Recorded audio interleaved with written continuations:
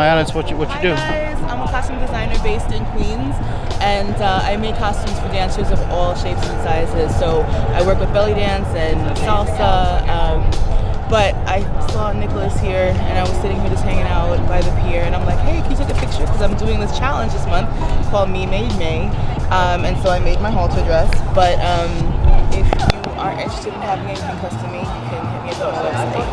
Thank you so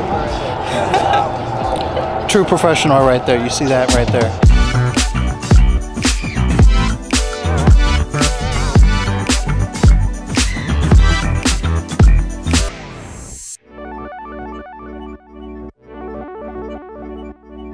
Yo, this thing is freaking massive. I didn't think I was gonna stop here, but holy cow.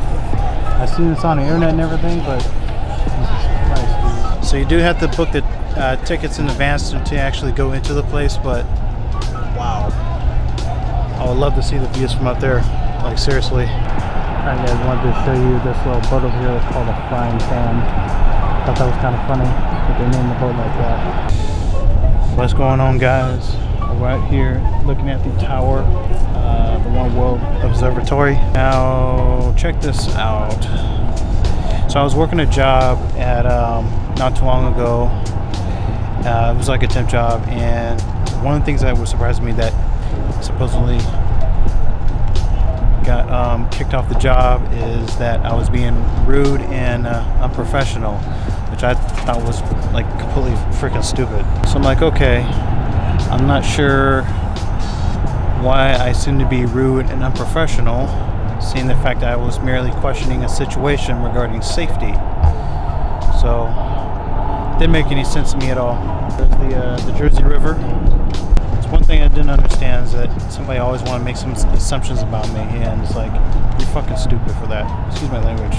Let's take a look on the other side here. Might be some glossiness from the sun, but can see you got Jersey across the Hudson River there. And you got New York on the other side here. The walkway and everything.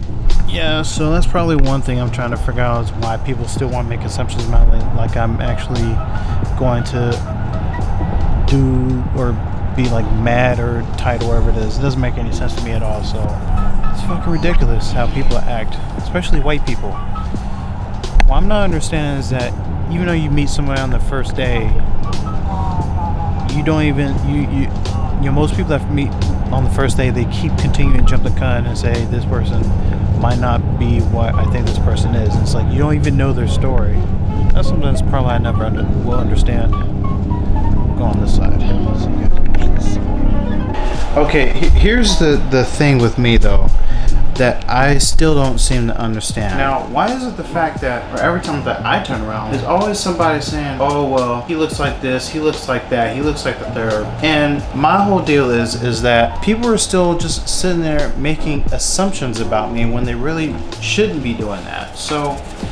I'm, I know it's really none of my business to really try to figure out what goes on inside people's heads, but saying that they look a certain way or they act a certain way or whatever it is, you know, that, that duck mechanism, it's like you automatically assume that they're that person or you know you create this image inside your head that they're this particular person. Say for example, if I just wore a t-shirt, uh, a sweater, which is both gray, or like and some great sweatpants, you know, people seem to think about construction worker. I'm just like, okay, first of all, just because I wear a certain style of clothing makes me look like a construction worker. Hello, newsflash. Do you guys know what construction workers look like? They wear orange shirts and Tims, mostly. Usually it's the steel-toed boots. My shoes are as flat as pancakes. So why are you guys making that consumption? Is this like me saying, is it, oh, well, well, she's Asian, so she must be good with calculus. Or, so I'm gonna see if she can help me with my trigonometry homework. And so I walk up to her and it's like, oh, she doesn't know anything about calculus. Well, you're Asian, so you must be smart, right? This is, it's like the same set of stereotypical bias that you know people do and it's like you know that's first of all that's ridiculous. You shouldn't be doing that. So that that's my deal with that. Everybody has their own way of thinking of things but it's like i personally try to have zero opinion about people mainly because it makes me look biased or stereoty- stereotypical. Yeah. No matter how long i would look at somebody i may conjure up a, a, a self conversation, but at the same time, I still have to understand and uh, try to accommodate my way of thinking according to what their story could be about.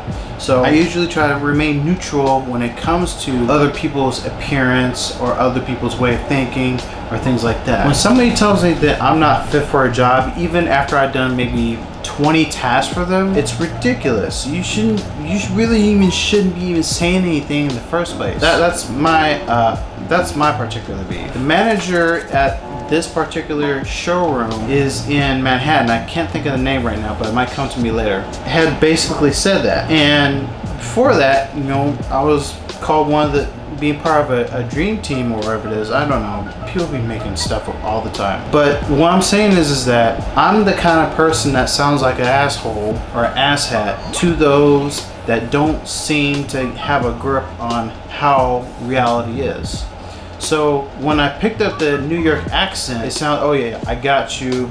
You know, being direct with somebody, saying things like dead ass and things like that. I don't seem to know why they couldn't handle things like that, but that's how New Yorkers talk. If you can't handle a New York accent, then maybe you shouldn't be in New York in the first place or New York City in the first place. I need a beer, I need a bag of Cheetos, and I need a nap. Blog over.